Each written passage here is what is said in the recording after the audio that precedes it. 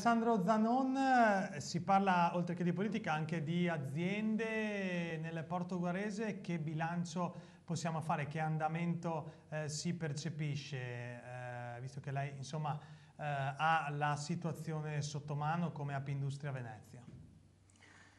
Sì, la situazione di una lenta ripresa è tuttavia eh, solo quella accompagnata da incentivi e forme di agevolazione che possono essere messe in campo eh, attraverso strumenti che partono dal Ministero e forme regionali ma che devono essere eh, appunto seguite dall'associazione di categoria. Quello che Apindustria sta eh, cercando di fare nel territorio a Porto Uruaro, nella città metropolitana di Venezia e non solo, è quello appunto di seguire le aziende per la parte burocratica e non solo per accompagnarle a forme di sostentamento aggiuntivo che possono appunto eh, apportare migliorie e eh, dare quel, quello slancio, quel respiro che altrimenti senza del quale eh, in molti casi non, sareb non, sarebbero in grado di poter emergere, di poter garantire la propria produzione e quindi occupazione. Questo lo stiamo facendo, i risultati ci stanno eh, dando ragione eh, ed è possibile eh, solo appunto con un lavoro di squadra, di sinergia, eh, segno che ancora una volta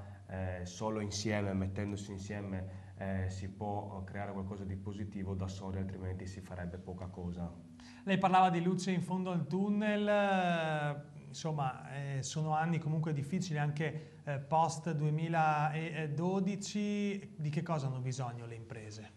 Ma sicuramente di stabilità, che sotto più forme e aspetti, quindi eh, molto dipende anche dalla politica e dalle politiche, cioè da quello che il, legislatore è in grado di poter mettere in campo e possibilmente in forma duratura, quindi con una prospettiva futura a medio-lungo termine e non con continui aggiustamenti e modifiche eh, nei vari anni se non semestri che di certo questo non garantiscono fiducia, progettualità, programmazione anche per le piccole e medie imprese, non solo per quelle più grandi. Questo sicuramente sta alla base. Dopodiché eh, la burocrazia, fasi, la burocrazia quello è evidente, riguarda un po' tutte le fasi e settori e lì la strada da fare è ancora molta perché ovviamente le difficoltà ci sono e sono eh, riscontrabili quotidianamente anche da chi non ha un'impresa. Flat tax, abbassamento delle tasse, lei la vede una cosa possibile?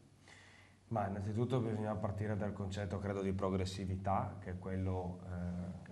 dice la nostra Costituzione, quindi non è necessariamente vero che un'aliquota unica possa essere la soluzione per tutti. Come tutti i provvedimenti avvantaggia alcuni e svantaggia molti, bisogna vedere poi se il gioco vale la candela. Diciamo che ci sono molti provvedimenti, molti piccoli incentivi che se rifinanziati possono essere molto utili alle aziende e sanno eh, trarne beneficio anche appunto partecipando eh, e cogliendo queste opportunità che il legislatore mette a disposizione di chi fa impresa. Grazie Alessandro Zanon per essere stato con noi, linea che può tornare a Pordenone.